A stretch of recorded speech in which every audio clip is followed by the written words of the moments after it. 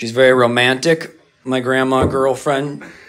She um, recently got us a set of John and Yoko mugs, which I thought was sweet. She's like, "This is who I want us to be." I'm like, yeah, except for the ending, right? I don't mind spending a week in bed with you, honey, but eating four bullets for a nightcap, I could probably do without. Schnookums. For anyone in the crowd under the age of 30, John Lennon was a musician in the 1960s. that wrote and performed songs with his garage band, the fucking Beatles. Uh, might have heard of them. They were pretty underground. Well, two of them are. And um, three if you count Ringo's career. So really, it's just uh, Paul at this point. I thought everybody liked the Beatles, but I guess I was wrong because I had a buddy of mine tell me one time, he's like, Rob, I can't listen to the Beatles ever since I found out that John hit Yoko.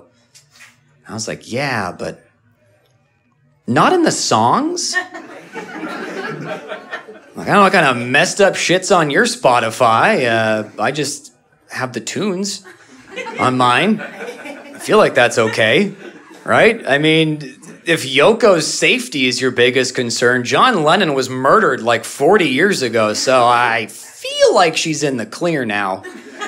You know, it's not like you can sing Imagine three times and summon him from the grave. He was a Beatle, not Beetlejuice, for Christ's sake.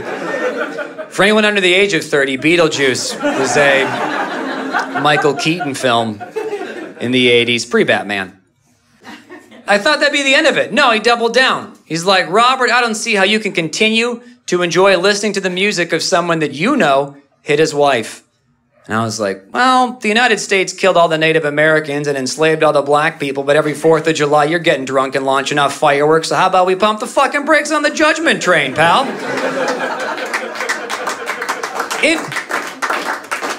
Odd applause break, but I'll take it. It'd be one thing if his music caused domestic violence. Then, uh, yeah, turn it off. If you put on I'm the Walrus and headbutt your lover, like, yeah, that's fucked up. I'm with you. Turn it off. But that's not what's happening. Besides, she gets songwriting credit now, royalties. She's doing well. Uh, uh, songwriting credit? Are you kidding me? For an Abbey Road writing credit? I'd let Lennon hit me in the dick. I'd jerk him off. I'd be like, here you go, John, let's come together. Oh, you like that? Sure, you can use that, buddy. Absolutely. Just make sure it's over me when you do that. That should translate well on an album. Um,